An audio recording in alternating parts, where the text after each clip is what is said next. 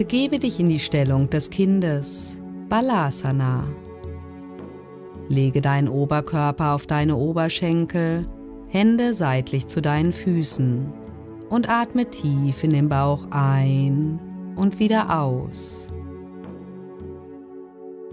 Ich führe dich nun in verschiedenen Stufen durch den Kopfstand. Bei der folgenden Übung ist es wichtig, dass du deinen Kopf in der Stellung nicht mehr bewegst und nur meinen verbalen Anweisungen folgst, um deinen Nacken zu schützen. Auch bleibe bitte immer nur so lange in der jeweiligen Position, wie es dir angenehm ist. Übe erst jeden Abschnitt mehrfach hintereinander, bis du dich ganz sicher und stabil fühlst, um in die nächste Stufe weiterzugehen. Wenn du spürst, dass dein Hauptgewicht statt von den Unterarmen mehr von deinem Kopf getragen wird, komme bitte aus der Stellung und stärke erst deine Armkraft, bevor du weiter den Kopfstand praktizierst, um deine Nackenmuskulatur zu schonen.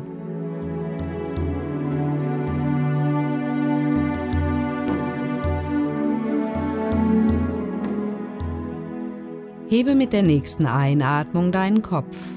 Nehme die Arme nach vorne und lege die Hände um deine Ellbogen. Dies ist ein persönlicher Abstand, mit dem du später dein Gleichgewicht besser halten kannst. Achte darauf, dass deine Ellbogen diesen Abstand beibehalten. Löse nun deine Hände und bringe sie nach vorne. Ellbogen bleiben an ihrem Platz. Falte die Hände locker ineinander Setze den Scheitelpunkt deines Kopfes so auf die Matte, dass deine Handinnenflächen den Hinterkopf berühren und sanft unterstützen können. Presse die Arme in den Boden und drücke deine Schultern weg von den Ohren. Stelle die Zehen auf, strecke dein Steißbein zum Himmel und laufe ganz langsam auf dein Gesicht zu. Wenn du spürst, dass du zu kippen beginnst, ziehst du deine Beine langsam und angewinkelt nach oben. Lasse deine Beine zu Beginn noch angewinkelt, bis du mehr Stabilität und Armkraft aufgebaut hast. Kopf, Rücken und Taille sind senkrecht zum Boden. Drücke immer wieder deine Schultern weg von den Ohren, damit dein Nacken nicht zu stark belastet wird. Wenn du dich sicher fühlst, drehe nun mit der Ausatmung deine Hüfte sanft nach rechts. Einatmen zurück zur Mitte Ausatmen sanft nach links. Einatmen zur Mitte. Und noch einmal. Führe die Bewegung ganz langsam und bewusst durch und achte immer wieder darauf, dass das Hauptgewicht von deinen Unterarmen getragen wird. Bleibe nun in der Mitte und atme tief.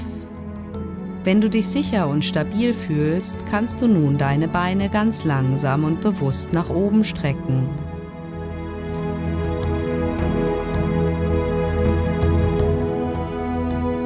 Deine Zehen strecken sich zum Himmel, dein Körper bildet eine Gerade.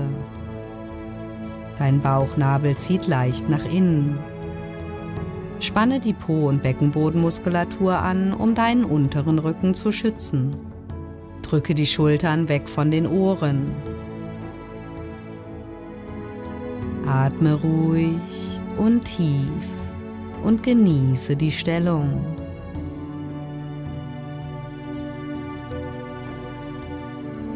Der Kopfstand Shirsasana wird auch als König der Asanas bezeichnet. Wenn du Shirsasana einmal richtig beherrscht und die zahlreichen Wirkungen dieser einzelnen Asana erfahren hast, möchtest du sie in deiner Yoga-Praxis sicher nicht mehr missen. Der Kopfstand wird verjüngend und aktivierend alle Organe werden besser durchblutet, besonders die Halsschlagader, das Gehirn und die Wirbelsäule werden mit mehr Blut versorgt.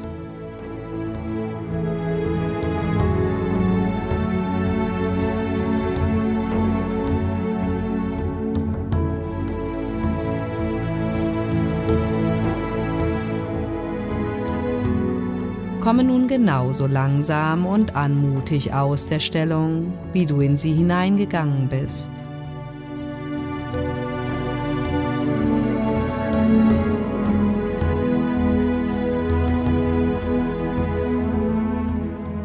Und entspanne in der Stellung des Kindes. Balasana. Es ist wichtig, dass du nach einer längeren Umkehrhaltung erst das Blut wieder zurückfließen lässt, bevor du dich aufrichtest, um Kreislaufprobleme zu vermeiden.